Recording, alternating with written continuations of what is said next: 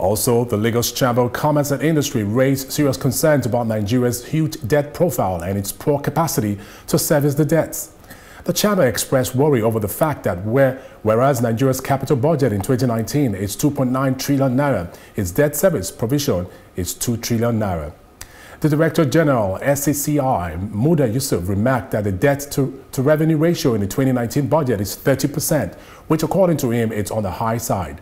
He said the growing national debt is a cause for concern as the debt profile grew from 12.6 trillion naira in 2015 to 25 trillion naira in 2019 second quarter, an increase of 104%.